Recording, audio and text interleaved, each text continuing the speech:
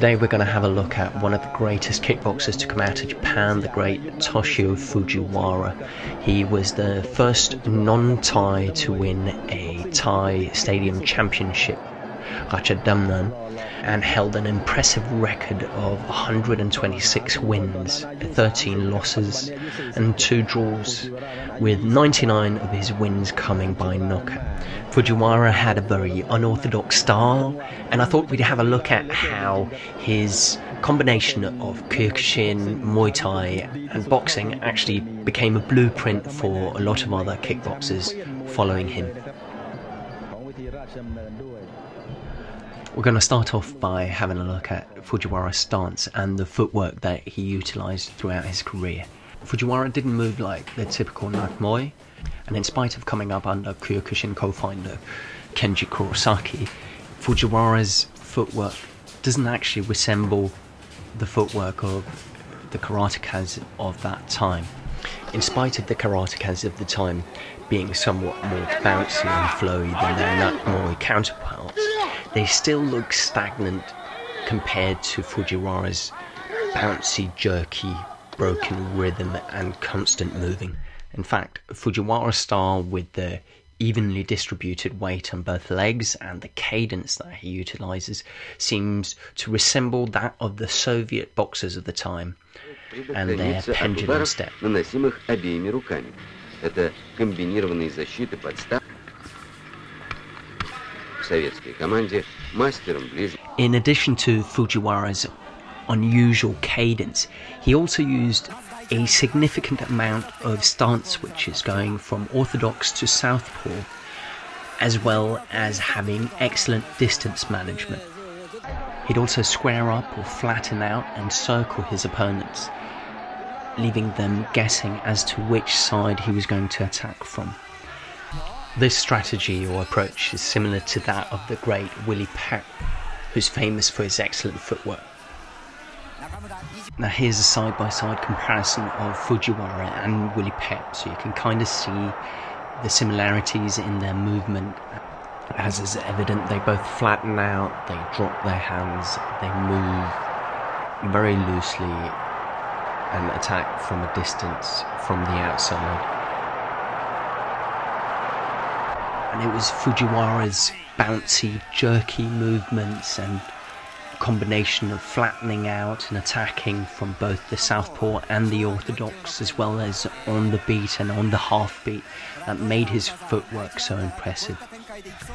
Moving on to the evasive tactics and the guard of Fujiwara, it's worth noting that Kenji Kurosaki, following the two first losses of Fujiwara, started emphasizing low kicks and boxing rather than clinching and knees, which are significantly more prevalent in Muay Thai. The focus of Kurosaki later became a staple for the Dutch style kickboxing. As a consequence of this, Fujiwara primarily fought on the outside. He had exceptional distance management and rarely stayed in the pocket for very long. He'd use copious amounts of feints in order to set up his attacks. When in the pocket, Fujiwara would use excellent head movement, frames, and angles in order to get out. In spite of having adopted a lot of elements from boxing in terms of footwork and head movement, Fujiwara's guard was a lot closer to a classical Muay Thai guard. He fought with his hands high, palms facing out, and often opting to switch to a long guard if opponents were closing the distance on him. With that said, Fujiwara did also occasionally switch to a more classical boxing guard, sometimes dropping his guard entirely. So, moving on to the clinching, the throws, and the sweeps. This is by far the area in which Fujiwara is the weakest. As I mentioned earlier, this is specifically an area in which Kurosaki had identified a core weakness of Fujiwara. And as you watch Fujiwara's matches, it becomes evident that this is certainly not his forte. A lot of his clinching looks more like wrestling, and I read that Fujiwara had opted to take wrestling classes in order to improve his clinching. Unfortunately, the wrestling doesn't seem to give Fujiwara the upper hand in the clinch. He's got very good takedowns from the clinch, but most of the time he'll just clinch and not really do anything with it. On the rare occasions where Fujiwara ends up on the rope, it's actually usually because of clinching. He either gets turned into the ropes or he ends up on the ropes pushing forward in the clinch. On the occasions where Fujiwara finds success, it's usually with a judo type throw, which was rather typical for the Kyokushin karatekas competing with the Thais at the time.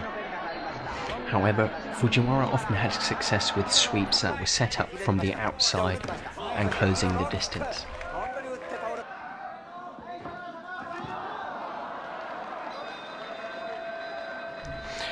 Because Fujiwara mostly fought on the outside, his striking isn't defined by long combinations in the pocket. Rather, he'd launch into punches and kicks, occasionally being completely airborne when kicking. Fujiwara's lead hook is therefore quite reminiscent of the great Floyd Patterson's Gazelle Punch, where he'd shuffle and leap into the hook. The left hand starts again. Johansson a punching technique which was also used by the great Marvin Hagler as well as Mike Tyson. This committance or overcommitments to the punch occasionally meant that Fujiwara landed with some precarious footing. Another element of Fujiwara's striking was his affinity for throwing multiple kicks with the same leg.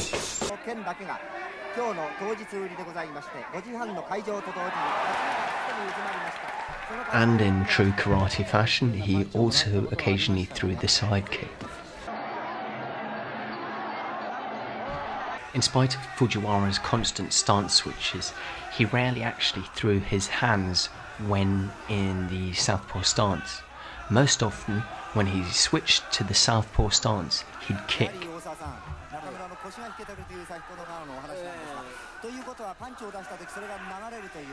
Fujiwara's strategy is highly influenced by his style, and vice versa. The choice not to clinch means that he pretty consistently stays on the outside.